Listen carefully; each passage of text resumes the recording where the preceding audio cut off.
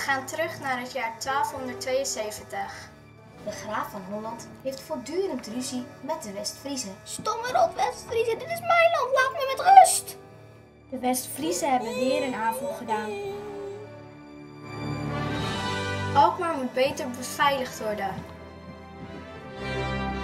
Wij besluiten twee drunkbursts te bouwen ten noorden van de stad, het huidige Oudorp. Joehoe!